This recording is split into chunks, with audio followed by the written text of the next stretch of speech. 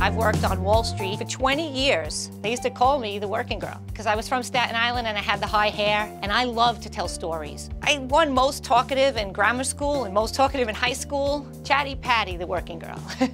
I worked my way through college, undergrad and graduate school. And when I was on the trading floor, every time I had gotten promoted, it was all merit-based. And when I finally made it to a big office with a secretary and a staff and an assistant, it was crazy and intense and fun, extremely fun. And although I thought this was exciting, I really had a passion for teaching.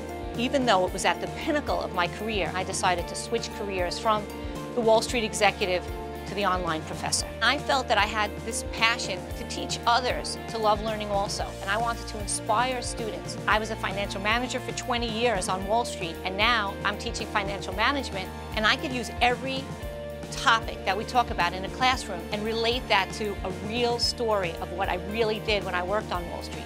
When they called me Chatty Patty on the trading floor, that was fine. And now at AIU, I won the Best Chat Facilitator Award. For some crazy reason, my students love my stories.